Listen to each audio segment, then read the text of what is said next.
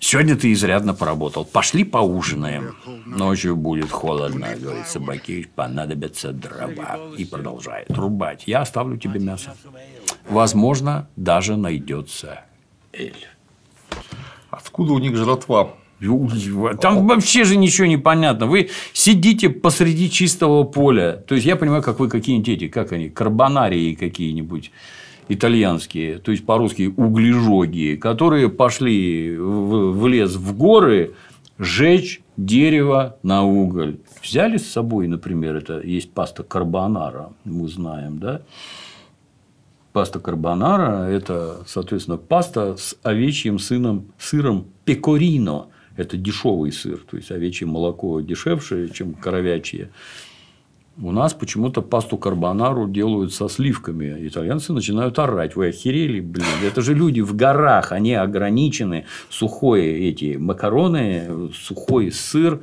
Вот вода вскипятили, посыпали, натерли. Вот откуда сливки? Там никто сливки с собой не носил. Давайте аутентично делать. А здесь, вот вы на такое количество народу, это вы огородов вокруг нет. Там человек лежать телеги сотнями килограмм. Ну, на 50 взрослых человек это 50 килограмм в сутки. Так Если точно. они физически работают и не собираются голодать прям по-настоящему. Они работают, да. То есть надо как-то возмещать, чтобы не обессилить. Те, кто не работал никогда, особенно на свежем воздухе, это вообще не понять. Там жрать надо. Просто как землеройная машина. Все, и все уходит, представляете? Жрать хочется очень. Да, на свежем-то воздухе. Да. Мы когда в этой в Чехии были в Праге, там какие-то эти кнедлики. Я никогда понять не мог, что это такое. Гадость такая, на мой взгляд. Ну, это как батон нарезать и да. горку от него отрезать. Да. Вот. И вся жратва, и там подлива адскими какими-то количествами, и этим кнедликом ее вымакивать, жрать.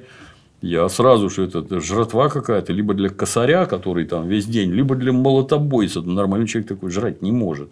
Это крестьянская еда. Ну, такая. Почему она такая? Потому что устаешь, потому что, да, вот кило нарыло за день надо, и все. Это непрерывно, когда приезжаешь, например, на страйкбол или на какой-нибудь наш военно-исторический фестиваль, это я к тому, что никогда в детстве, когда, в принципе, аппетит хороший, всегда угу, вообще. Угу.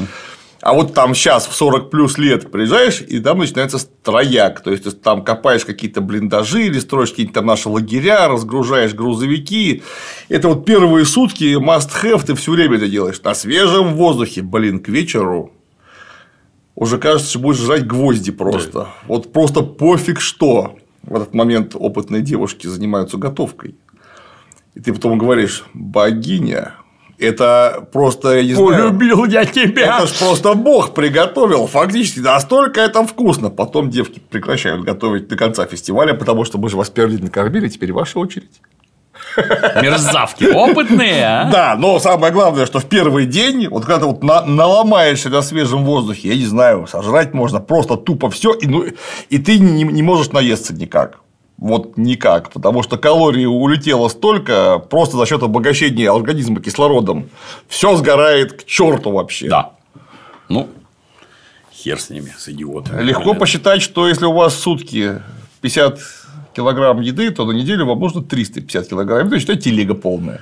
Ну, Откуда я вы бы... ее запасаете? Да, я бы дальше еще пошел. А, а хозяйство-то ваше где? Что вы вот это вот все бросили, приехали сюда, строить какое-то мракобесное сооружение. Кто вас да? кормит-то? А кормит вас кто? А дети ваши где в таком возрасте? Где все это осталось? На кого брошено хозяйство? Где хотя бы козлы какие-нибудь, которых доить здесь будете? И ни хера нет. Да в жопу, бля, идиоты, блин.